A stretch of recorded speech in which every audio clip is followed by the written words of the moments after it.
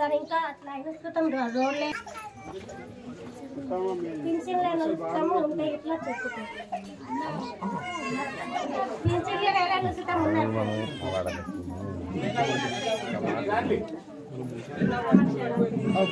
ఎండాకాలం అయితే వాళ్ళు వచ్చినా కానీ మాకు సాయం వాళ్ళు చేయలేదు ఈసారి మాకు ఒక కాగితం పుట్టించున్నారు కానీ మాకు పట్ట కాగితం రాదు. మాట్లాడతారా?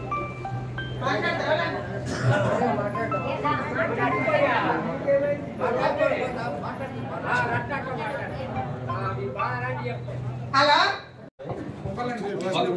ఫస్ట్ ఫస్ట్ గుర్తు మనది. ఫస్ట్ నెంబర్ ఒకటో నెంబర్. ఇలా వస్తుంటే ఇది వస్తుంది.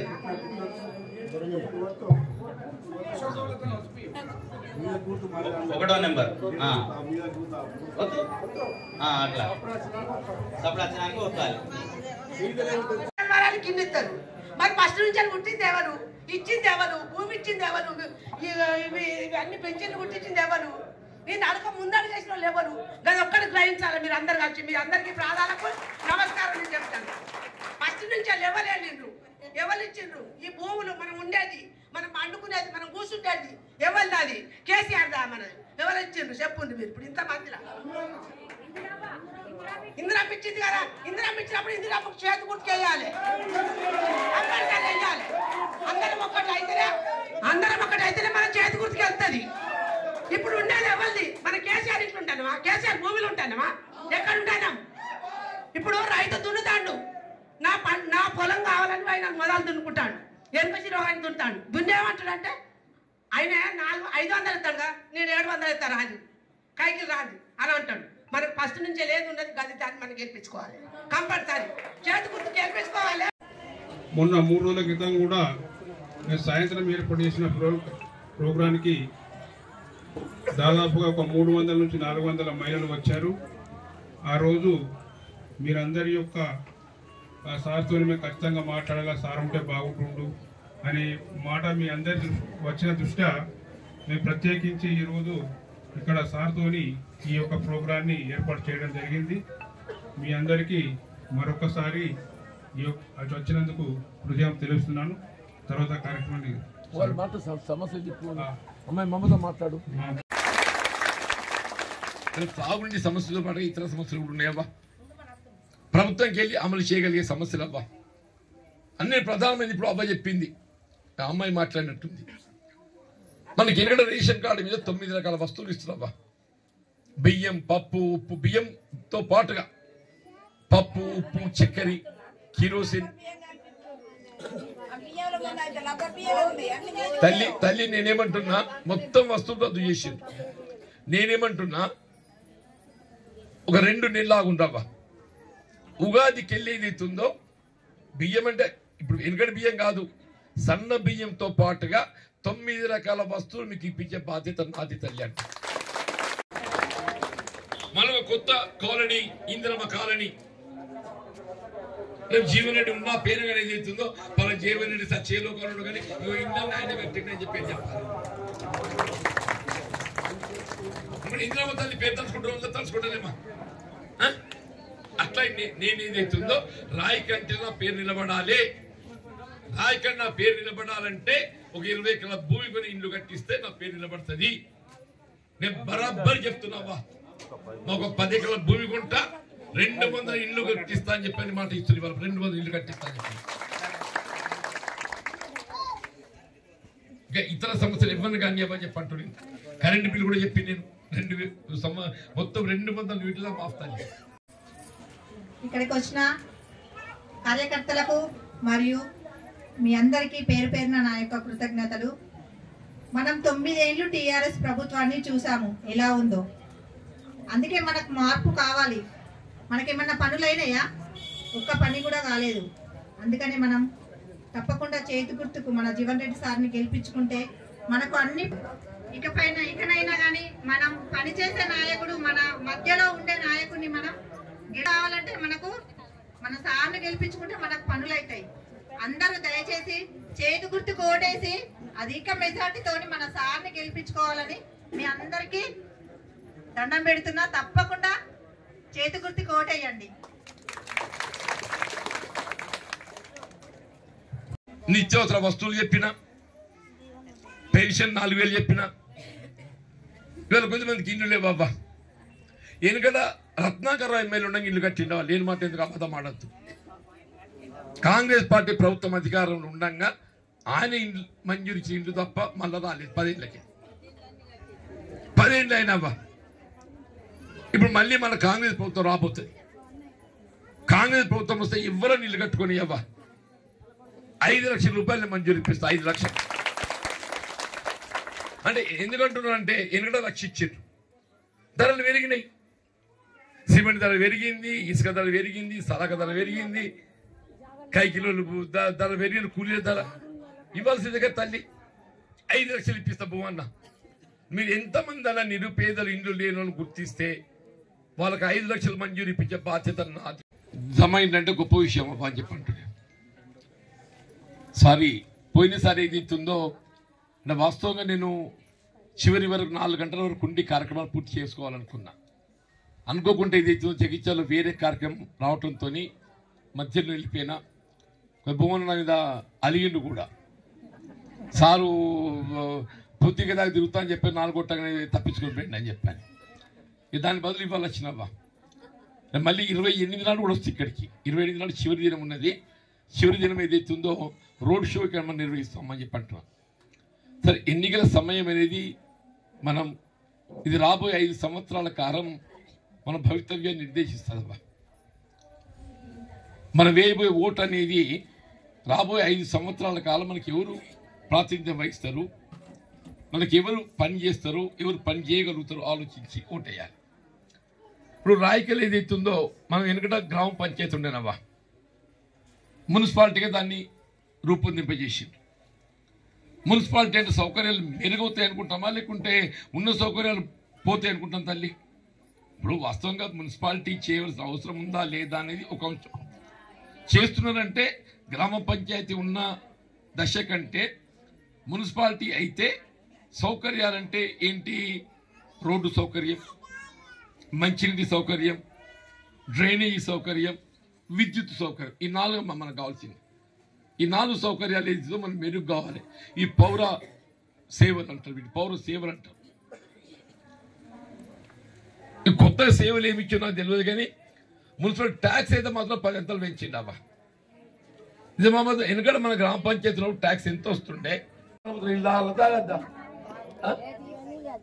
మీకు ఏదైతే ఉందో నేను ఒక నెల టైం ఇయ్యిందబ్బా ఓటీ పట్టి అంత ముస్తే నెల టైం పట్టింది నువ్వు ఎండాకాలం ఉంటున్నావు కదా. నీకు ఉగాది లోపల మన వాడగడు పైప్ల నీళ్ళు వచ్చేటట్టు చేస్తా నా బాధ్యత. ఏ టైం లోపల ఉగాది లోపల మీ నల్ల పైప్ నీళ్ళు వచ్చేటట్టు చేస్తున్న బాధ్యత. నేను గెలిచిన వస్తా మున్సిపల్ అధికారులు ఎంట పట్టుకు వస్తా పైపుల నీళ్ళు ఎందుకు వస్తున్నావో కూడా నేను తీపిచ్చి ఆ నీళ్ళ చిన్న చేసేది కూడా నాకు తల్లి చెప్పంటున్నాను ఇది ఎమ్మెల్యే చేసే పని ఇది నేను చేసే పని ఇది. మన సంఘ భవనానికి ఏదైతే ఉందో కాంపౌండ్ వాల్ లేదు. దానికి కాంపౌండ్ వాల్ పెట్టాలి బోరు నీళ్ళ నీలక్షితం చేయాలి. అది కూడా అదే బాధ్యత. ఇలా మనకు కొంతమంది పెన్షన్లు అత్తలేవు. పెన్షన్ ఏదైతే ఉందో అర్హతకు అనుగుణంగా అంటే ఇప్పుడు బీడీలు చేస్తున్నారు అవ్వ వాస్తవం అందరికి పెన్షన్ రావాలి. ప్రభుత్వం ఏం చేస్తుంది? కొద్దిమందికి ఇస్తుంది కొద్దిమందికి ఇస్తలేదు అదే నేను అదే చెప్తుంది తల్లి. మళ్ళా కొత్త బీడీ చేస్తున్నకి ఏదైతే ఉందో పిఎఫ్ కట్ అవుతున్నా కానీ అది తెలంగాణ వచ్చిన కట్ అవుతుంది పిఎఫ్ పెన్షన్ ఇస్తలేదు ఇప్పుడు ఆ పెన్షన్ కూడా ఇవ్వడం తల్లి రెండు వేల పదహారు కాదు. వాళ్ళు కొసులు కొసులు ఇస్తున్నారు కదా. నేను నాలుగు వేలు ఇప్పిస్తాను నాలుగు వేల పెన్షన్ ఇప్పిస్తాను నాలుగు వేలు ఒకటి పెన్షన్ ఇండ్లు లేని ఎవరన్నా కానీ అబ్బా ఇండ్లు మంజూరు ఇప్పిస్తాను ఇల్లు లేని వాళ్ళందరూ సర్వే చేపిస్తా. సర్వే చేపించి ఇండ్లు ఇప్పించే బాధ్యత కూడా నాదే. స్థలం లేకుంటే కూడా రాయకల్లో ఒక పది ఎకరాల భూమి కొంటా. పది ఎకరాల భూమి కొంటే రెండు కోట్ల రూపాయలు అవుతాయి. భువన్న నేను చెప్పేసి సత్యం చెప్తున్నా. ఒక పది ఎకరాల భూమి సేకరిద్దాం ఇక్కడ ప్రభుత్వంకి. ఎంత అవుతుంది రెండు కోట్లు అవుతుంది రెండు కోట్లు పెట్టి పది ఎకరాల భూమి సేకరిస్తే మళ్ళీ మనం ఒక పెద్ద ఇంద్రమ కాలనీ ఒక రెండు వందల ఇండ్లు కట్టొస్తాం.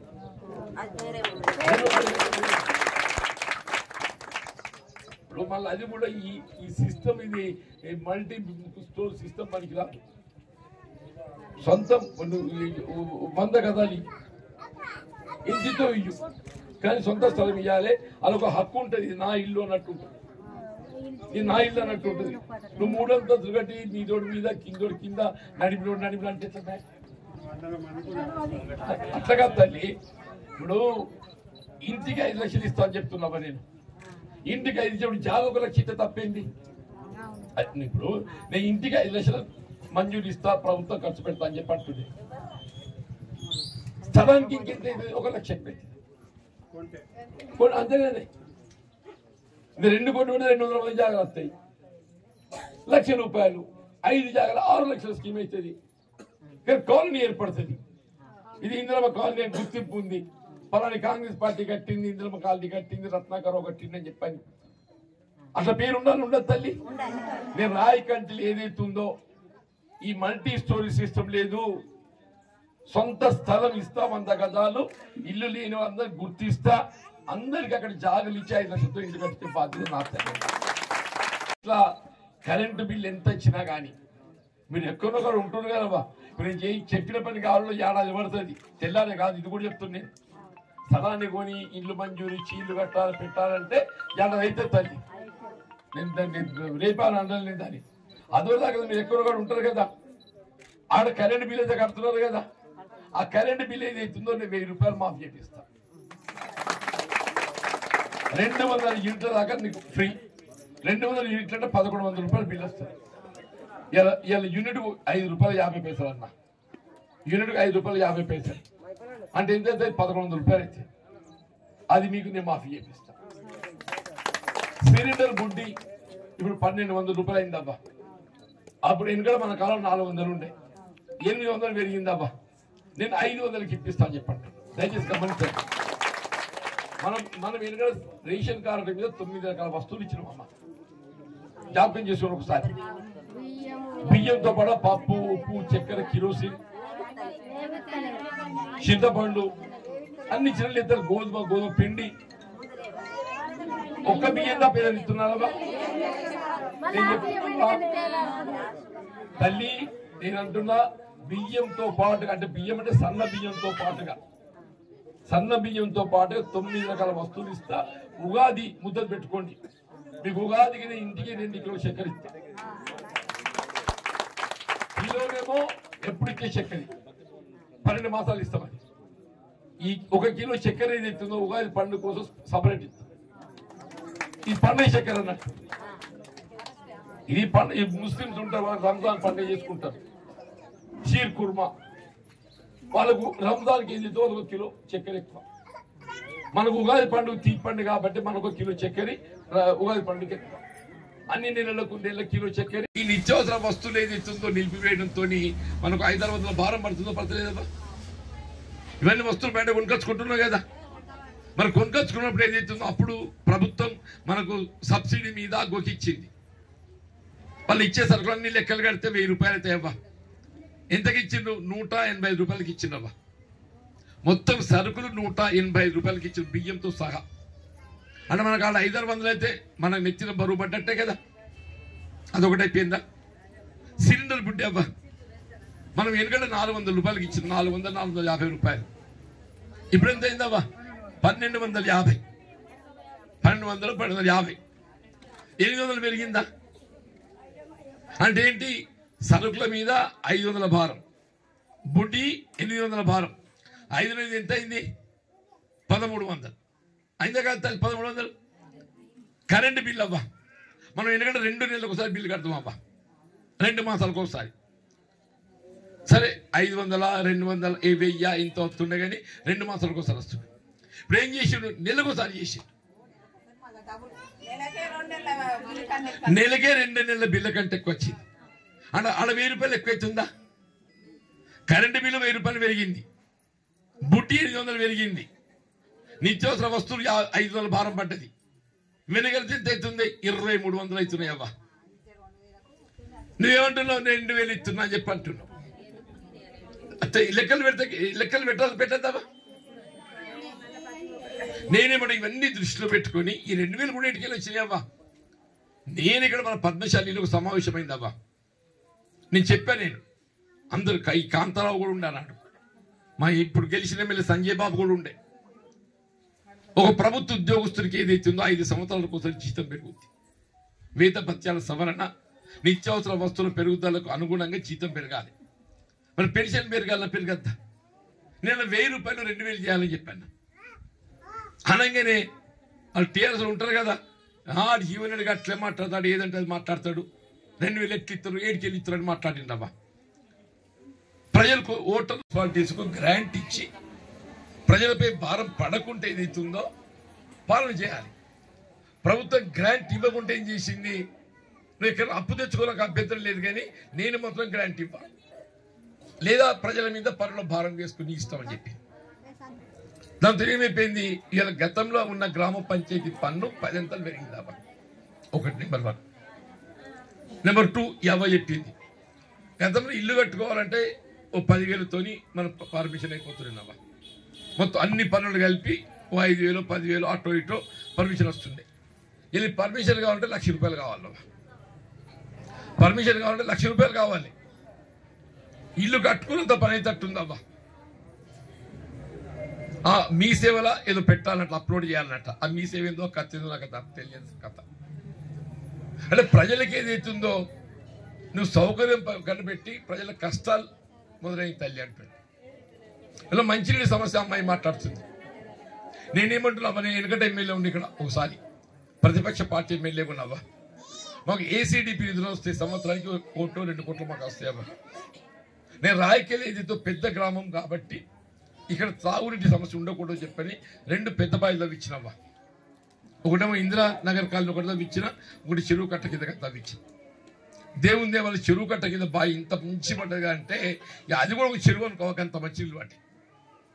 దాని గాజులు పోయించిన పైప్ వేయించిన వాళ్ళు నేను అనుకుంటున్నా నాకు తెలిసి రాయకల సగమును అదే సాగుతుందవ్వ ఎక్కడెక్కడైతే పైప్ లైన్ ద్వారా బావుల ద్వారా నీళ్ళు అందింపజేసే అవకాశం లేదో ఆ పెద్ద మనిషి వెనకాల కూర్చుంది చెప్పినట్టు ఒక నాకు తెలిసి ఒక ముప్పై నలభై బోర్లు ఇప్పించిన రాయకల్ టౌన్లో మా రమేష్ వెనక మేకల రమేష్ వెనక ఒక భువన కూడా ఎక్కి ఒక ముప్పై నలభై బోర్లు ఇప్పించిన అంటున్నాను ముప్పై నలభై బోర్లుగా తల్లి. మోటార్లు పెట్టిన. అప్పుడు గొట్టు కాలం అవ్వ. గొట్టు కాలం పెట్టి ఇంటింటి కనెక్షన్ ఇప్పించింది అని చెప్పండి ఇప్పుడు ఏమైపోయిందంటే నువ్వు మోటార్ నడపద్దు ఇది కొత్త కాలం పెట్టినంట మళ్ళీ కమిషన్తో వెళ్ళి పెట్టి నువ్వు బగిలతో నీళ్ళు ఇస్తావు బగిలతో నీళ్ళు ఇయ్యవు. వాళ్ళు ఏ నీళ్ళు అవుతారు చెప్పేది? ఉన్న మోటార్కి ఏది ఇస్తుంది నువ్వు మోటార్ నడపద్దు అంటే తప్పు కదా. అసలు భగీరథ అని చెప్పి నువ్వు ఆల్రెడీ నలభై వేల కోట్లు అప్పు చేసినావు. నలభై వేల కోట్లు తల్లి అని చెప్పి అంటున్నా. ప్రతి కుటుంబం మీద లక్ష రూపాయల భారం వేసిండు. ఇంటింటికి నీరు నీరు ఇస్తేనే ఓటు అడుగుతా. ఇంటింటికి నీరు నీరు ఇస్తేనే ఓటు అడుగుతా అని చెప్పి అన్నింటికన్నా ప్రధానమైన సమస్య మంచినీరు తల్లి చెప్పంటుంది మళ్ళీ ఉగాది వస్తుంది.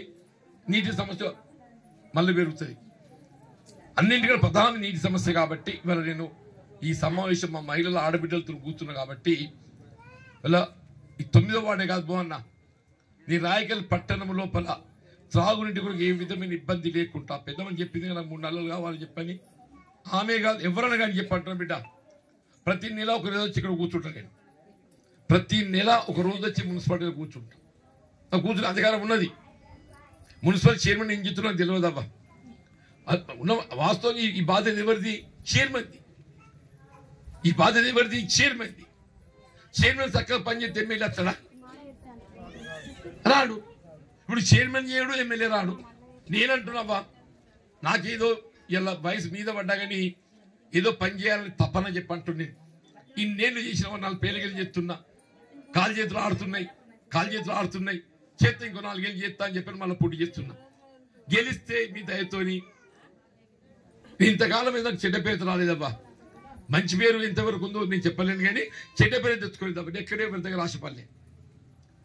మీ దయతో గెలిస్తే అని చెప్తున్న తల్లి నెలకొక్క రోజు వచ్చి మున్సిపాలిటీలో కూర్చుంటా. మీకు త్రాగునీటి సమస్య కానీ ఏ సమస్య అయినా కానీ మీకు పరిష్కారం చేయడానికి ఏదైతే ఉందో నేను సమయం దినమంతుంటా తల్లి ఇక్కడ దినమంతుంటా చెప్పండి.